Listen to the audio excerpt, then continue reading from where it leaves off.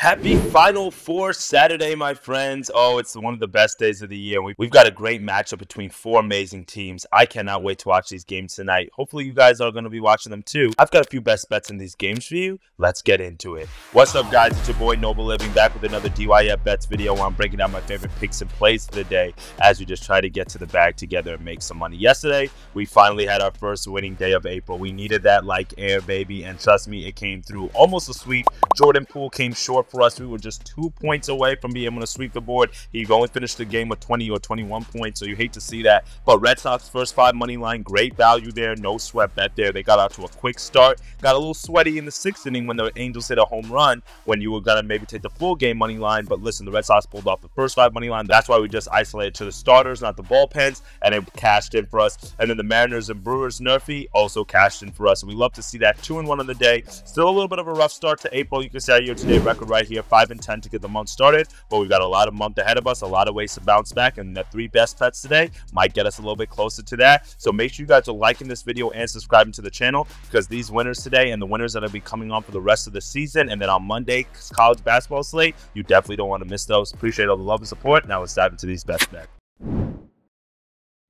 So for my best bets of the day, guys, I'm going to kind of give you guys my analysis on these games. You probably know where I stand on both of these picks because if you've been tapped into the channel, you do know that we have a future pending on Purdue right now to win the national championship at plus 700. So I will be rooting for them right now in this game, but I cannot take either of these teams on the spread because the spread is just way too big for such a big matchup, as I do think that one of these teams or one of the underdogs, let's just say, will cover. Now, obviously, a lot of money is on Alabama and a lot of money is on NC State, as those are the two darlings. That's where the value is is at plus nine, plus nine and a half, plus 10, plus 11, wherever your book has it at. So I do understand why people are going with the underdogs. But when we really look at these games on paper, it's pretty hard to go against the favorites in these matchups because, I mean, Purdue, I mean, truthfully, they're just so good. And UConn, we obviously know what they've been doing. They've been on an absolute, not just a tear, but a cover tier as well. Since their national championship last year, they've covered every single game in this tournament and last tournament. So it's pretty hard to bet against that. But I'm going to look at the total in the first matchup between Purdue and NC State. And because of that, I'm going to go over 146 and a half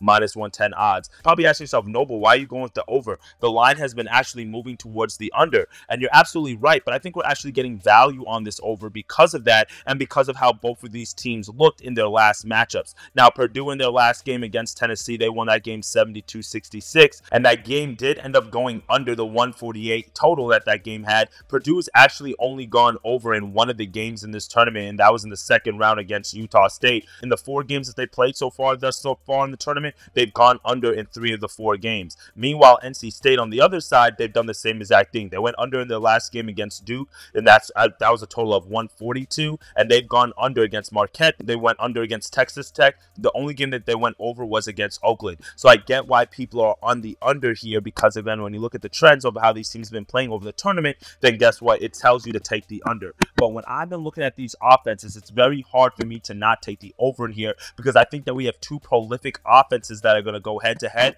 in a marquee matchup in a big spot like the Final Four. And because of that, I think that we're going to get a lot of offense today. Purdue, you guys know the numbers on them. Second in adjusted offensive efficiency, 13th in effective field goal percentage. They also rebound the ball at a very high rate, thanks to Zach Edey, number six in the country. They have the second best three point shooting team in the country. They also do very well on the inside in terms of hitting 54% from two point range, and they can also hit free throws as well. I mean, Zach Edey is not an automatic free throw shooter, but he's been shooting the ball at 72% from the free throw line thus far in the tournament. And considering how often he gets fouled, that's pretty good. Now, NC State on the other side, their offense is not that bad either. So far in the tournament, their offense is actually 20th in adjusted efficiency. Overall in the year, it was about 40th. They actually rank ninth in turnover percentage, so that's really good as well because they don't turn over the ball a lot, and Purdue does not force a lot of turnovers. And then we also just know what this offense can do with the weapons that they have with DJ Burns, DJ Horne. So for me, I think that this is going to be a matchup here where there's going to be a lot of up and down scoring. And because we have such a high number here in terms of on the spread, if NC State expects to compete in this game,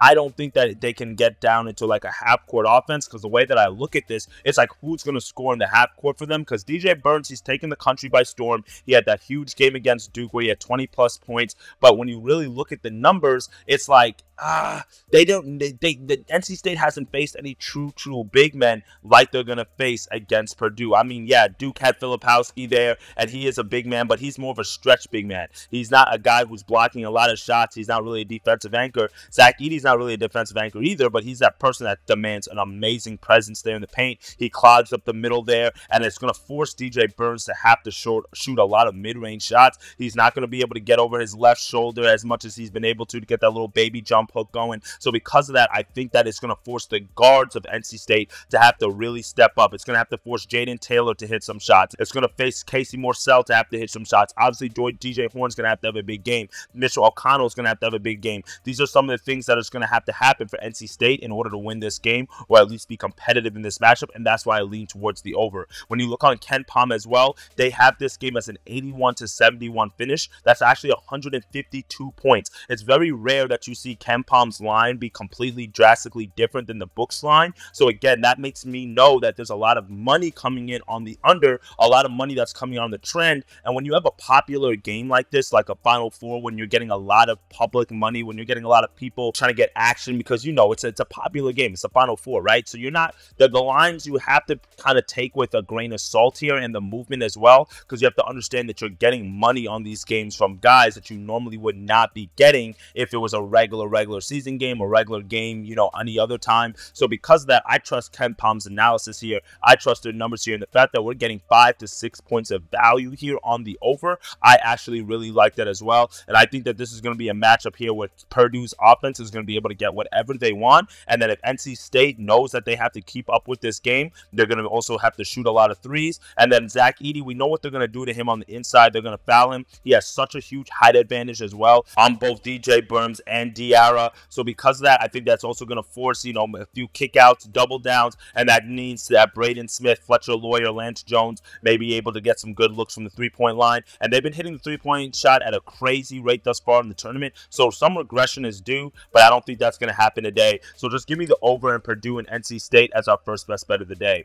Now, my second best bet of the day, I kind of alluded already to what it might be because we're going to go with a player prop here. I'm actually going to give you two player props in both of these games because of the fact that, hey, I think we're not going to have the opportunity to take player props in college basketball much longer. If you guys been paying attention to the news, the gambling world, right? They've started to outlaw player props on the college slate. But because of the way that DJ Burns is going to demand attention from Zach Edey and that they're going to force him to shoot the mid range shot, I think that's going to fall on DJ Horne today to have to score for the NC State Wolfpack. So give me his over 16 and a half points, minus 110 odds on MGM. Make sure that you shop around here. Now, DJ Horne, he's been a catalyst for this NC State offense. Obviously, DJ Burns has been getting the headlines. He's been getting the, the love and the attention, rightfully so, because he's demanded a lot of attention. But DJ Horne, he's the guy who's been scoring the points for NC State, in all honesty. In that Duke game, he had 7 of 16 from the line, 2 of 6 from the three point line, finished with 20 points in that matchup. In the Sweet 16 matchup against Marquette, he shot 6 of 15 from the field, 4 of 7 from the three point line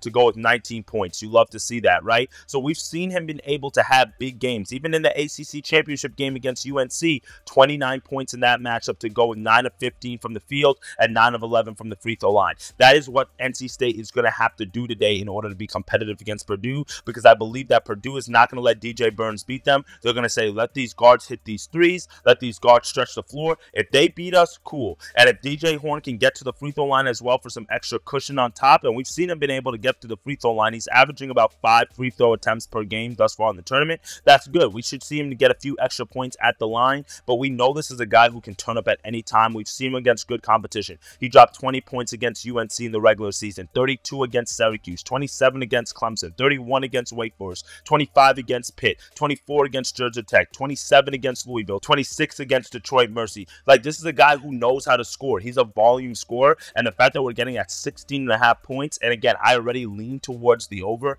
and I feel like because Zach Edey's presence is gonna really kind of hold DJ Burns to more of a dishing and diming and more of a facilitator role. The question is gonna be who's gonna score for this NC State Wolfpack team, and I believe that's gonna be DJ Horne. He's gone over this in the last two games. He hooked on the first game of the tournament at with 16 against Tennessee Tech. He only had 11 in that second round matchup against Oakland, but he just didn't have the best shooting day. Only one of six from the three point line. If he has a bad shooting day, then NC State loses this game easily. They also lose the game on the spread. So for me, this is my way of playing NC State a little bit. If I get to the window on them, I might do it live. But for me, I'm going to go with DJ Horne over 16 and a half half points because I don't think DJ Burns is going to be as big of a factor in this matchup as we've seen him in other matchups just because of Zach Edey's presence. And then also at the same time, the way that the guards play and they crash down in the post as well, it's going to kind of prevent DJ Burns from kind of getting into that rhythm. And Zach Edey's length, because he's more than six inches taller than DJ Burns, is going to be a problem. And keep in mind, DJ Burns could get into foul trouble early as well because he's going to be. We see what the refs have been doing in terms of calling fouls for Zach Edey this tournament. He's been getting calls every single game. I'm not betting against that right now, so it's hard for me to back a big man with uh, NC State just because I don't even know if he's going to be on the floor enough. In all honesty, I mean, yeah, Kevin Keatts is going to be able to have to push it a little bit for him to be able to get out there,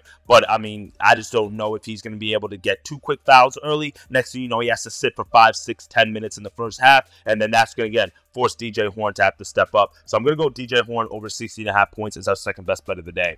Now, third and final best bet of the day is another player prop, and we're going to go to that UConn Alabama game. And I think UConn wins this game. I don't know if they cover the spread. Alabama is obviously the darling team here. 11 and a half point spread, and the fact that they shoot a lot of threes means that that can keep them in the game. And I like the fact that they can do that. Because of that, I think it's going to force UConn to maybe have to play a little bit of small ball, and it's actually might force Donovan Clingan out the game. Now we saw Donovan Clingan had an amazing game in the elite Elite Eight matchup where he had over 20 points to go with 10 rebounds. He had a great double double game there. But if Alabama goes with the small ball lineup with Grant Nelson at the five and they're stretching out the floor running that five out three pointers, Donovan Clingan becomes a liability there. And because he becomes a liability, if they're hitting their three pointers, they can't trade threes for twos. And because of that, we're going to have to look at the best other player for UConn, and that's Tristan Newton. We're going over 16 and a half points here as well, minus 115 odds. Now, Tristan Newton is a guy who's no stranger to having to score buckets. He's not a guy who's not accustomed to not stepping up. So far in the tournament, we saw him score 17 points against San Diego State. We saw him have 20 points against Northwestern. He only had 13 points against Stetson, but he only played 29 minutes that game due to the blowout. So for me, this is a guy who can def,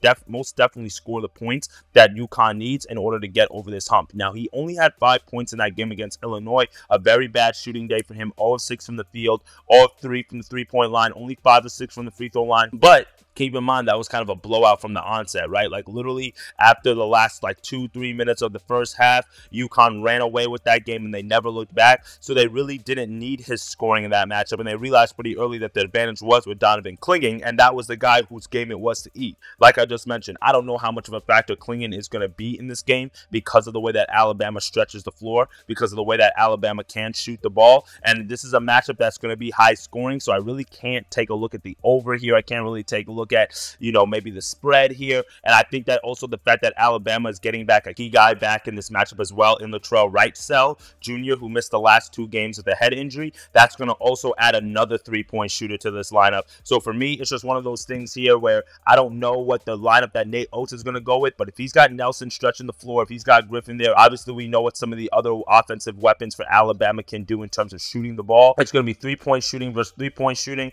Mark Sears is going to be able to get to his spots. Estrada is going to be able to get to his spots. So I believe that here it's going to be on Tristan Newton to step up, the senior who's been in this position before. Donovan Clingan, the 7-2 guy. I just don't know how much of a factor he's going to play in the matchup. Connecticut has the number one offense in the country in adjusted efficiency, number seventh in effective field goal percentage, number four in two-point percentage, number 69 in three-point percentage shooting. So because of that, I think Tristan Newton is going to be a guy that has to contribute at a very high level for them to win this game and to also cover the spread. And I think it's again going to be a high-scoring game. We've also seen Alabama give up points to guards thus far in the tournament. Joe Girard had 19 points for Clemson in the last game to go with five three pointers. In their win against UNC, where Nelson had 24 points, RJ Davis still had 16 points and he did not shoot the ball at, at all. 4 of 20 from the line. He didn't hit a single three pointer. And guess what? I think that Newton could be able to hit us one or two three pointers that gets him over this hump. And we also saw Cormac Ryan in that matchup finish with 17 points in that game. So again, we've seen guards be able to go off. Even Grand Canyon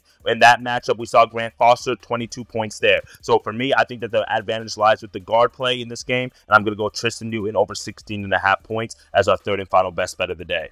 Well, Well, that's it for me today, my friends. For more best bets and picks and plays, maybe in baseball, my Nerfy of the day, click the link, join the Discord group. I'll also drop a few plays on Twitter as well. So, but those are kind of the looks that I'm going with for the final four here. I'm going to go with the over in Purdue and NC State. I'm also going to go with Tristan Newton over 16 and a half points, DJ Horne over 16 and a half points, as I think this is going to be a game dominated by the guards. And then obviously Purdue, you got the big man Edey there. Pretty hard to handicap what he's going to do, but also at the same time, we know he's going to get the foul calls. You know he's going to be able to be on the floor and be a big presence there. So it's going to be hard for me to lay the points on either of these guys unless I'm looking at the game live. So I do lean Purdue. Obviously, I do lean UConn. They're the two best teams in the country, and I said that at the beginning of the tournament. I kind I said at the beginning of the tournament that these are the two teams that should face off in the national championship, and they're the only two teams where Zach Edey is going to face another big man who can probably compete with him. So we've got a future that's pending right now on Purdue to win it all. We, I would not be surprised if we have UConn and Purdue, two number one seats, facing off on Monday night. And if we do, then I'll be back with some more picks and plays to break that game down for you guys. All right, my friends, be safe out there today. Have a great time watching these games. And if you want some more picks and plays, baseball winners, NBA winners, then make sure you click the link in the description, and I'll see you guys on this side. All right, my friends, have a day. Let's get to that money, and I'll see y'all later, gang.